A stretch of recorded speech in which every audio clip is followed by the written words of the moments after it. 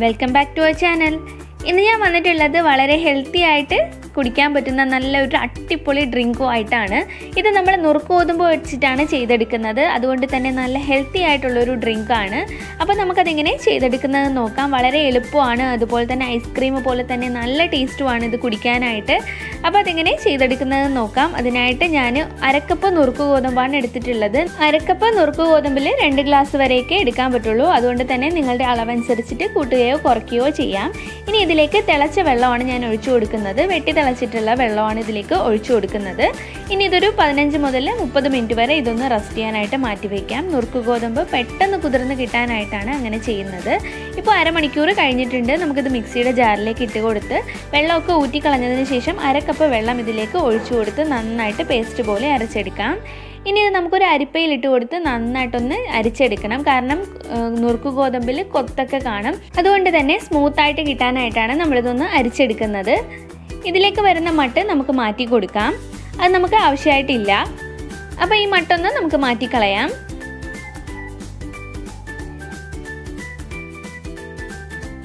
അപ്പോൾ ഒട്ടും തന്നെ തരിയില്ലാത്ത നുറുക്ക് ഗോതമ്പിന്റെ പാലിവിടെ എടുത്തിട്ടുണ്ട്. ഇനി നമുക്കൊരു പാനിലേക്ക് ഒന്നര കപ്പ് പാൽ ചേർത്ത് കൊടുക്കാം. അപ്പോൾ ഒന്നര കപ്പ് പാലാണ് ഞാൻ ഇതിലേക്ക് ചേർത്തിട്ടുള്ളത്. ഇത് നന്നായിട്ടൊന്ന് ചൂടായി വരുന്ന സമയമാകുമ്പോഴത്തേക്കും അതിലേക്ക് കാൽ കപ്പ് പഞ്ചസാര ചേർത്ത് കൊടുക്കാം.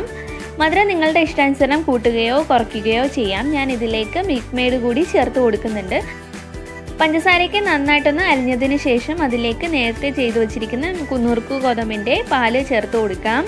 ഇനി പെട്ടെന്ന് തന്നെ കൈവിടാതെ ഒന്ന് ഇളക്കി കൊടുക്കുക. ഇല്ലാന്നുണ്ടെങ്കിൽ പെട്ടെന്ന് കട്ടി പിടിച്ചു പോകുന്നതാണ്. അപ്പോൾ ഒന്ന് ലോ ഫ്ലെയിമിൽ ഇട്ട് കൊടുത്തതിന് ശേഷമായിരിക്കണം ഇതൊന്ന് കുറുക്കിയെടുക്കാനായിട്ട്. ഒരുപാട് കട്ടിയായിട്ട് തോന്നുകയാണെന്നുണ്ടെങ്കിൽ നമുക്ക് മിക്സിയുടെ ജാറിലേക്ക് ഇട്ട് ഇതൊന്ന് അടിച്ചെടുക്കാം. ഇപ്പോൾ ഇത്രയും ലൂസായി കഴിഞ്ഞ് കഴിഞ്ഞാൽ നമുക്ക് ഫ്ലെയിം ഒന്ന് ഓഫ് ചെയ്ത് വെക്കാം. ഒരുപാടങ്ങ് തിക്കായി പോവണ്ട. ചൂടൊക്കെ ഒന്ന് അല്പം ആറി വന്ന സമയമാകുമ്പോഴത്തേക്കും നമുക്കൊരു മിക്സിയുടെ ജാറിലേക്ക് ഇതൊന്ന് ഒഴിച്ചു കൊടുക്കാം.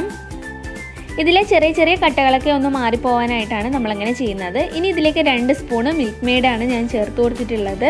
ഇത് ഹോം മെയ്ഡായിട്ട് തയ്യാറാക്കി എടുത്തിട്ടുള്ള മിൽക്ക് മെയ്ഡാണ് അപ്പോൾ ഇതുകൂടി ചേർത്ത് കൊടുക്കാം. ഇനി ഇതിലേക്ക് ഞാൻ ഒരു നുള്ള് സ്ട്രോബെറി എസെൻസ് ആണ് ചേർത്ത് കൊടുക്കുന്നത്. നിങ്ങളുടെ കയ്യിൽ എസെൻസ് ഇല്ലാന്നുണ്ടെങ്കിൽ അതിന് പകരം വാനില എസെൻസോ അല്ലാന്നുണ്ടെങ്കിൽ ബീട്രൂട്ടോ ചേർത്ത് കൊടുത്താൽ മതിയാവും ഒരു കളറിന് വേണ്ടിയിട്ട്. ഇത് നന്നായിട്ട് ഒരു മിനിറ്റോളം മിക്സിയുടെ ജാറിലേക്ക് ഇട്ട് അടിച്ചെടുത്തതിന് ശേഷം നമുക്കൊരു പാത്രത്തിലേക്ക് ഒഴിച്ചു കൊടുക്കാം.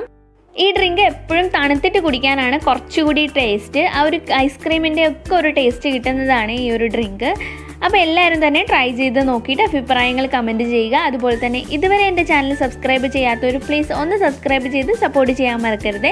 ഡ്രിങ്ക് തയ്യാറാക്കാനായിട്ട് ബീട്രൂട്ടാണ് എടുക്കുന്നതെന്നുണ്ടെങ്കിൽ വേവിച്ചതിന് ശേഷമായിട്ട് എടുക്കുക. ഇല്ലാന്നുണ്ടെങ്കിൽ ആ ഒരു പച്ചമണം ഉണ്ടായിരിക്കുന്നതാണ്.